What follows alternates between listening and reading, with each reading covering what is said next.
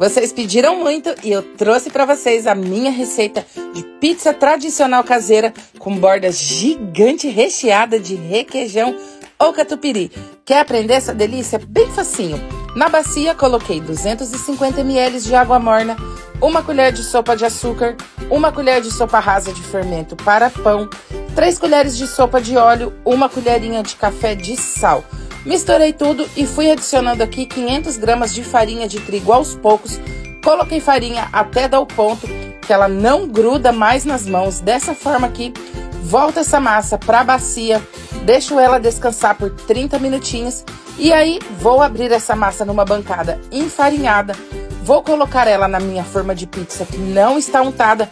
Deixei a massa para fora da forma para fazer a borda recheada aqui de catupiry. Olha que delícia.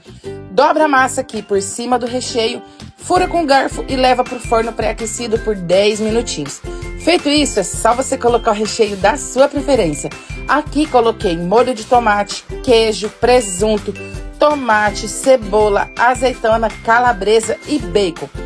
Levei de volta para o forno pré-aquecido a 200 graus por mais 20 minutinhos. Ficou essa delícia. Já salva aí para fazer depois. E se quiser receber mais receitinhas como essa, é só seguir a gente. Um cheiro!